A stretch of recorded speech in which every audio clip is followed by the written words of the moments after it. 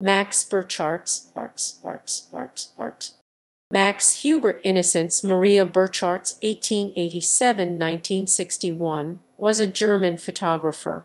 Life Ah Max Burchartz was the son of a fabric manufacturer, Otto Burchartz, and his wife Maria. After his basic schooling he received training in his father's weaving mill and studied at a textile technical school as well as an art school. He studied advertising and art, and in 1907 started studying at an art academy in Dusseldorf, at that time experimenting with Impressionism, but left the academy to join the First World War. After the war he withdrew to Blankenhain and resumed meeting with the modern trend. From 3 to 5 August 1922 Burchartz attended a still life course taught by Theo van Doesburg at the Bauhaus in Weimar, a break from his past work, and turned him toward the modern trend. Ascent into the Ruhr district. In 1924 Burchartz moved to the Ruhr district, where he set up the first modern advertising agency in Germany with Johannes Canis on 1 November 1924. He dedicated himself to the new typography and color design of the building. Artistic and economic success soon followed. The first customer of the agency was the Bochumer Association. Burchartz developed a new layout style that blended typography, photography, and photo collages. In 1926 Burchartz began expanding his artistic career.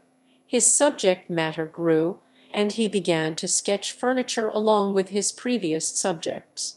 He also began working for the German Work Federation and became an active journalist. Burchartz began working for a company called Wehag that made door handles and fittings. He created many drafts for the company and shaped the development of the enterprise. In April 1927 Burchartz finally received a degree in typography at the Folkwang Schule. Later that year he joined the architect Alfred Fischer, who built churches, and the Hans Sachs House.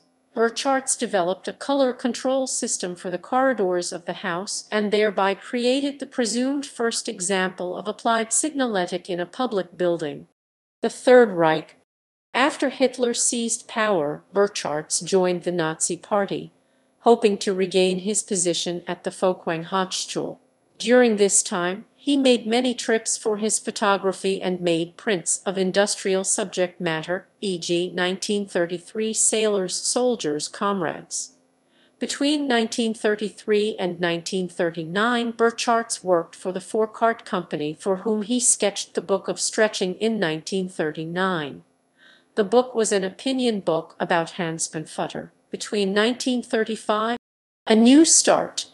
In 1949 Burchartz began working at the Folkwang Academy as a professor for the first-year students. He taught the students universal art ideas and the ideas of holistic designs.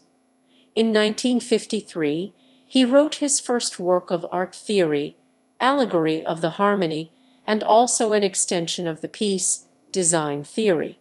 Influence on art today Although Burchartz can be considered the pioneer of modern design, and can be compared to older artists such as Peter Behrens and Anton Stankowski, he never received the same fame. Many of today's communication designs, such as the color control system, are based on the work of Max Burchartz.